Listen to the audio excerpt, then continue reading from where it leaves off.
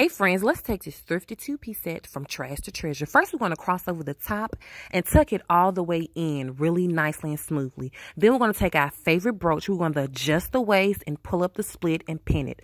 Adjust your arms. Add your favorite shoes, bag, and earrings. Shout out to Thrift and Tail for being the teacher.